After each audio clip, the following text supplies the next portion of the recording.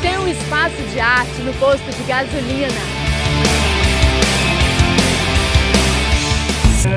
Agora, da dança, a gente vai para um posto de gasolina conhecer um espaço de arte bem diferente. É com você, Lorena. Até que poderia ser um estúdio de tatuagem, mas o negócio aqui é outro: um espaço de arte. E vocês viram, né? Num posto de gasolina. Alex, como é que surgiu essa ideia de colocar um espaço de arte no posto de gasolina?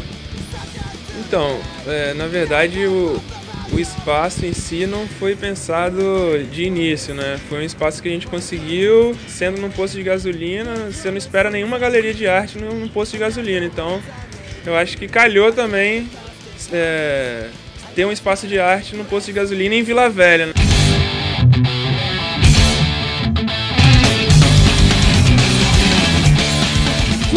Caótica, que vai acontecer daqui a pouquinho. Como que é? Como surgiu? A gente aqui em Vila Velha tem uma certa carência assim de eventos para o público alternativo assim durante a semana. Então a gente cria um ambiente que que vá além da, da, das artes visuais, vá também para a convivência com as pessoas. Assim.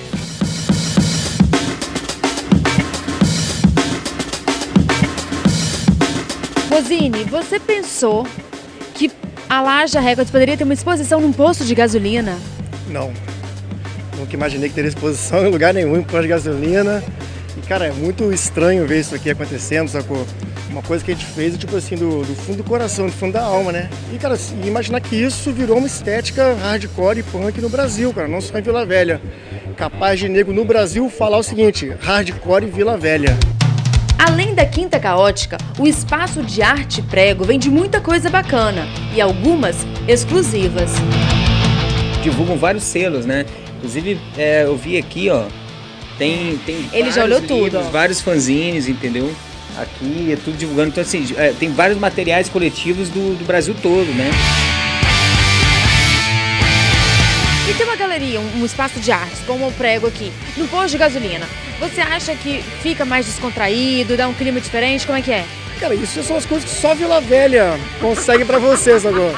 Por isso que os caras que vêm de São Paulo, vêm de fora, não acreditam, cara.